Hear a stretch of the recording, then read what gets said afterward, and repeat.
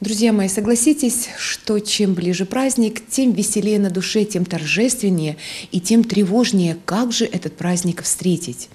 А еще накануне праздника нужно не забыть о тех, кто рядом с нами, но уже не совсем рядом с нами, кто ушел в мир иной. 4 ноября Казанской иконы Божией Матери, а 8 ноября святого великомученика Дмитрия Солунского. И накануне этих больших православных праздников православная церковь установила Дмитриевскую родительскую субботу, как раз для того, чтобы вспомнить тех, кто рядом, но кто уже не с нами. Отец Виктор, будьте добры. Дмитриевская родительская суббота – это первая поминальная суббота, большая поминальная суббота, которой и начинается э, череда вот тех поминальных суббот, которые будут в Великом посту, да? Ну, если брать, да, если брать в общем э, с начала года церковного, то как раз и первой является да, Дмитриевская родительская поминальная суббота. Это она первая является. Так как у нас еще есть и перед Великим постом, еще Вселенская суббота поминальная, это сопутственная. Как раз перед Сырной Седмицей и есть поминальная Вселенская. Потом идут в Великом посту три субботы, это вторая, третья, четвертая недели, субботы Великого поста. Вот. И также, конечно, Вселенскую еще вспоминаем мы перед Троицей перед праздником Троицы Святой также э, вспоминаем о всех усопших. Особенная Вселенская родительская суббота. Так еще поминовения у нас есть Вселенские и Радоница на девятый день во вторник, уже второй, вторая неделя после Пасхи, также поминальный день. Вот. Но мы говорим о, сегодня говорим о Дмитриевской родительской субботе.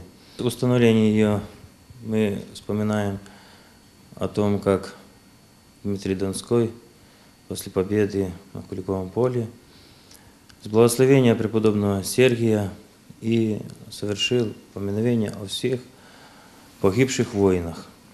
Тогда была и трапеза э, установлена для всех Э, людей, чтобы могли помянуть всех усопших, всех погибших в той войне. Но со временем оно перешло и поминовение для всех, близких, родных. Это день особенный для всей церкви. Конечно же, поминовение здесь только после установления Дмитрием Донским – это поминовение именно в русской церкви, на Руси. Но э, до того поминовение осенью было. Э, общее такое поминовение ось, среди осени и было поминовение всех усопших. Вот. И оно и продолжается до сих пор. Мы в эти дни особенно, особенно вспоминаем всех тех, кто уже не может о себе молиться – кто переступил ту черту, которая разделяет временное от вечного. И это и есть наш христианский долг – молиться о всех. Нельзя сказать, что это горестно, это радостно, когда мы в этот день вспоминаем усопших. Когда происходит единение всей церкви.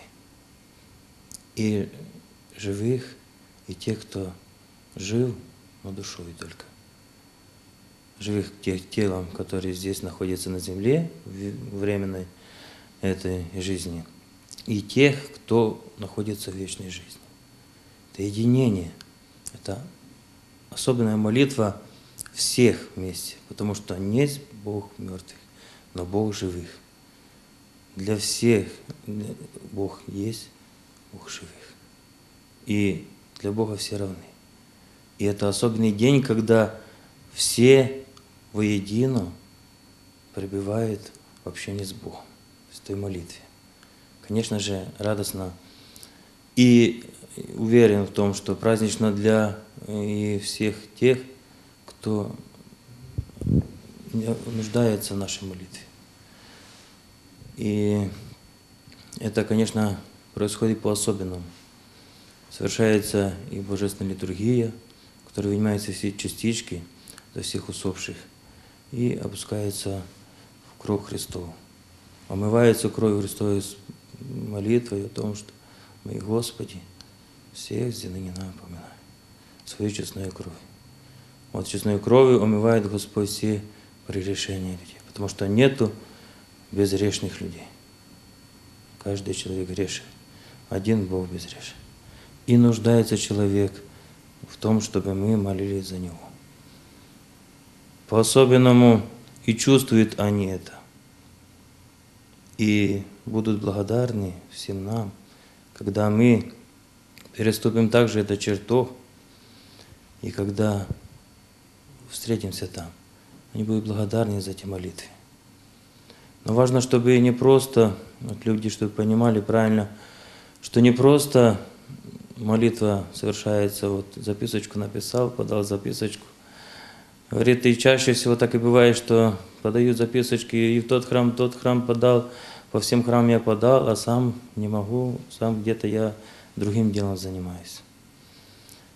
Это не есть правильно.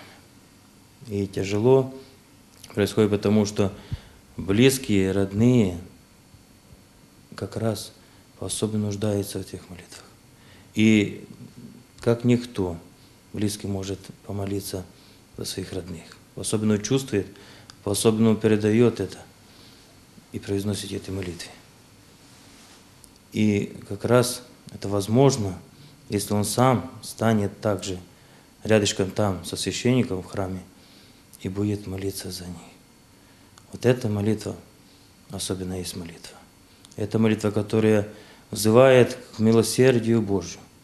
Мы молимся не о том, чтобы Господь по правоте своей судил, по правде, а молим о том, чтобы Господь смилосердился. Потому что по правде это нам тяжело каждому придется ответить за все. А именно молим, чтобы Господь смилосердился каждому из нас и простил наши прегрешения.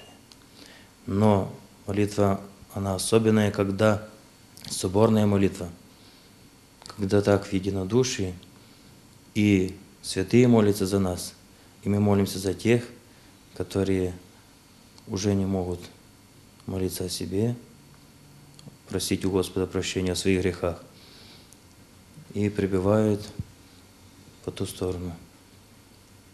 Важно для нас, чтобы мы понимали это и сами стремились также вознести эту молитву. И здесь, в храме, и везде, каждый, где кто может, там и должен возносить эту молитву. Это единение наше, потому что нету раздела между живыми и мертвыми. Душа человеческая жива, вечна. И мы все ожидаем того, что воскреснем все. Ради того Господь пришел в мир, ради того Он пострадал, ради того Он и воскрес, чтобы даровать нам жизнь вечную. И мы все э, и ожидаем того, что мы все воскреснем и восстанем в новом облике, в, новой, в новом теле. И тело восстанет, но в новом облике. И, конечно же, со всеми нашими чувствами, со всем тем, что мы пережили, все останется. Но только будет ощущение уже другое, не такое, как сейчас вот забота о том, что как мы нам жить, прожить, как нам существовать здесь. Жизнь будет другая. Когда переступает человек эту черту, вот тогда и встрепенется. Вот тогда и задумается. Даже любой той, кто пытается тут сказать, что я не верю в это все, загробную жизнь, там страшно. Встрепенется, когда переступит этот чертог, потому что там предстанет перед испытанием. Там откроется пред ним все то, как он провел здесь вот жизнь. И откроется не просто так, оценочку он даст уже с взгляда Божьего. Господь откроет, как он правильно видит этот поступки. И вот каждому придется дать ответ за каждый свой поступок. И особенная молитва за тех людей, которые приступают только вот чертог, потому что как раз первые дни проходят люди испытания, те, которые приходят в черту, разделяющую временно от вечного. И, и проходит испытание, метарство. И тогда особенно нужна наша поддержка, особенно наша молитва нужна. Поэтому и особенно люди ждут до 40 дня, эти все дни, когда особенно необходима поддержка всех родных и близких. И, конечно же, по-особенно наш этот день Дмитриевской субботы, потому что это соборная молитва, это единение всех пред Богом. И, конечно же, нам хочется, чтобы все оставили все свои дела и уделили в этот день особое внимание своим родным и близким, всем тем, кто нуждается в их молитве.